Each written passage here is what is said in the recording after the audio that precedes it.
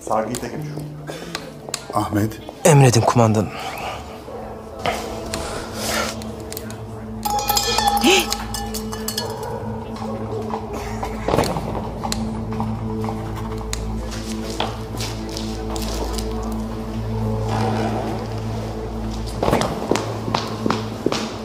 Yusufoğlu Ahmet. Müşahede. Nurioğlu Tahsin. Taburcu. Abdullaoğlu Mehmet. Taburcu. Seyitoğlu Bayram. Geçmiş olsun. Taburcu olmanın anlamını hiç düşündünüz mü?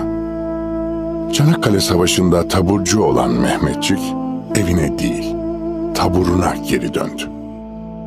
Sağlığımıza kavuştuğumuzda evimize dönebilmemizi borçlu olduğumuz aziz şehit ve gazilerimizi rahmetle anıyoruz.